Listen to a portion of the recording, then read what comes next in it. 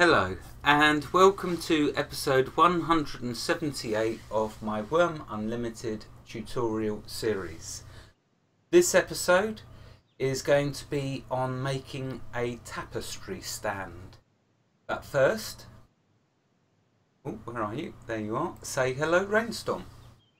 Hi everyone, Raynstorm here.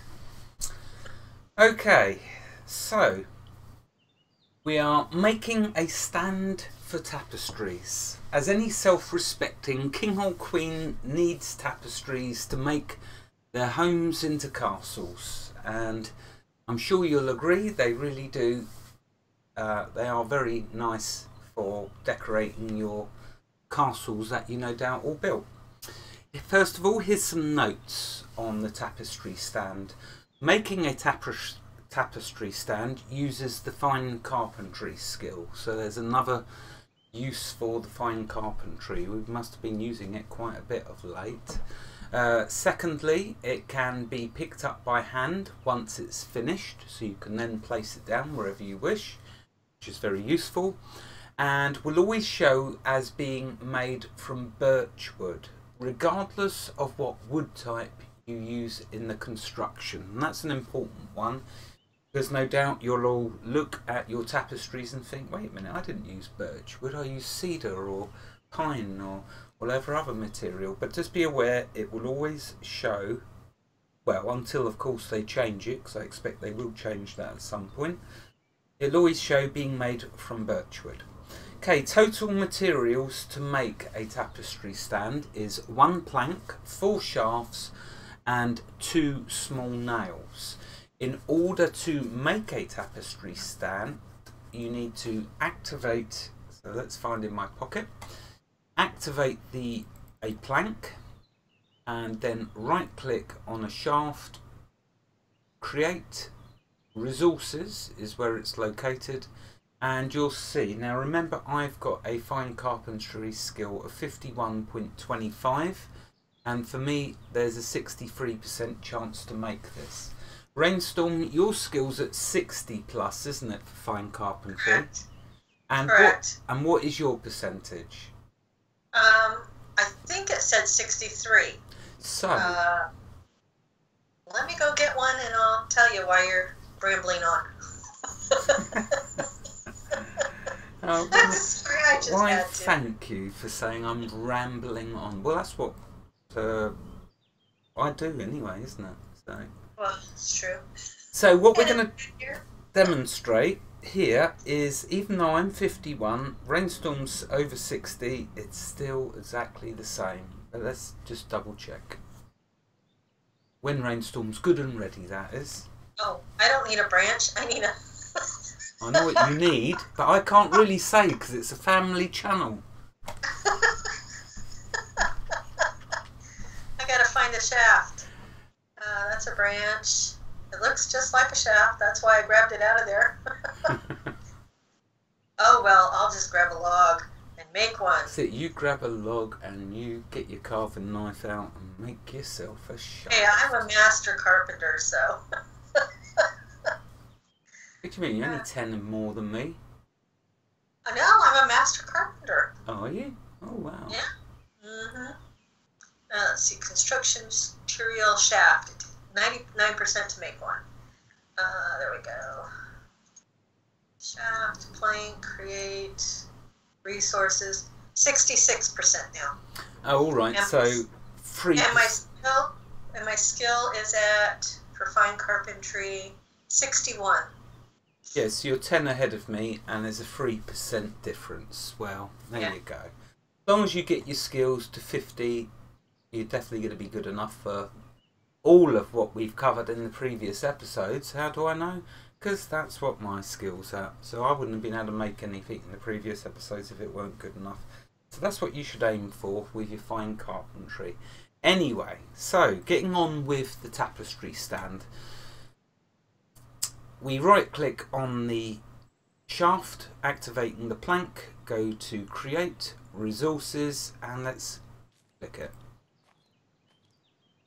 and there we go it's plonked this unfinished cedar wood notice it says now cedarwood tapestry stand on the ground. So what I'm going to do is right click on it, add to the crafting window.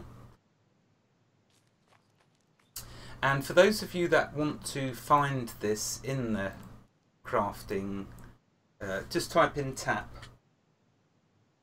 Scroll right to the bottom and you'll see it under resources, remember resources, and it's tapestry stand. Right, okay, so we need to add, I need to add three more shafts and two more small nails. So let's do the nails first. Whack that up to four and continue. Okay, let's do the shafts and continue. And there we go. Lo and behold, we have ourselves a... Wait a minute, it says cedarwood tapestry stand. So they have fixed that. Um, because what I read earlier was from the Wurmpedia. Um, so ignore the fact that on Wurmpedia it says that it will always say birchwood. It now they fixed it so it actually says the wood you've used. So there's the first thing. And actually, now that we've finished it, it's prepared us for the next episode, which will be on, you guessed it, tapestries. And we're, we're going to go through all the different tapestries that you can make. Now, Raynstorm, is there anything else that we can mention here? Yes. When you want to improve the tapestry stand, it has to be on the ground. You can't pick it up and do it in your inventory. Actually, it has to be on the ground to improve it.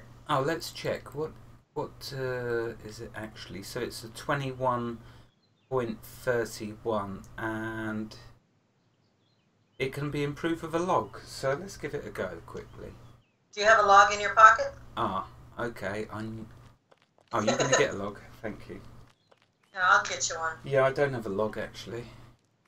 I have a tendency of doing that, saying something and not actually realising that I can't actually do it. I'm coming back with a log. Thank you.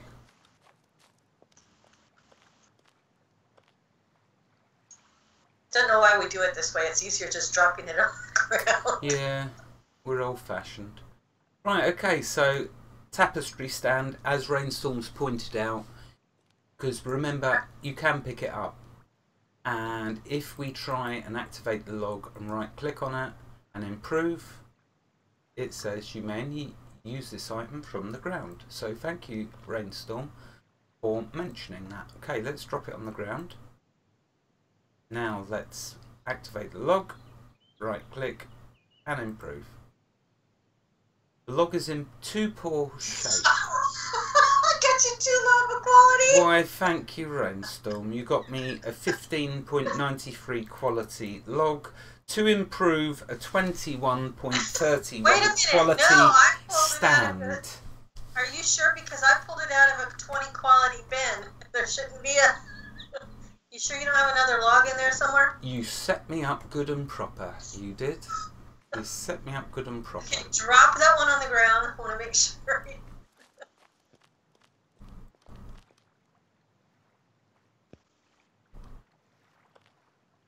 That, my dear, is fuel for the forge and nothing else. Yes, exactly. Oh, Well, that's- actually, you can use it for making starter items. Oh yeah, true. Right, okay, so back to the stand. Let's activate the log and improve. And there you go. So next it's a file, but let's just take a look. So there we go, that's how you must improve your tapestry stands. And once you've got it to the desired quality level, then we're going to think about hanging a tapestry on it. Is there anything else you'd like to add, Raynstorm? No, that's all I can think of for that. That's what I noticed when I was making one. Okay, thank you for your input. It never was going to be a very long episode. Um, it's just really doing the first component on our step towards tapestries. Okay, if you want to say your goodbyes, I'll say the outro. Goodbye, everyone. Have a great day. Thank you very much for your logs, even though one of them was very low quality. Thank you for your time and your effort, Brainstorm, as usual. Thank you very much. Wherever you are in the world, God bless you and keep every last one of you safe. Thank you for watching and have a fantastic day. Goodbye.